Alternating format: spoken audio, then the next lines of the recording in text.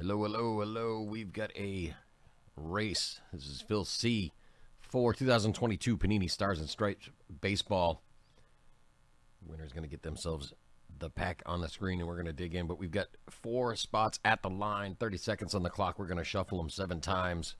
Let's switch over and begin our shuffle and race. Here we go.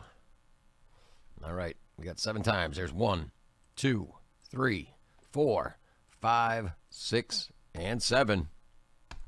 Kapow. They are off. Gee, Crazy, how's it going?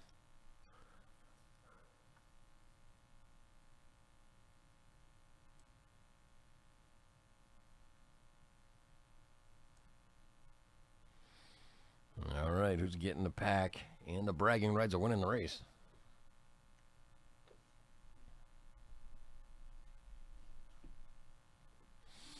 Lisa L, congratulations, you won. You won. All right, let's switch over and give me two seconds. I'm going to dry my hands real quick. Let's do this. All right. I always have that habit. Got to wipe the hands off before every pack opening. All right, all right, all right. Lisa L, this pack is coming to you. Let's get it. Best of luck.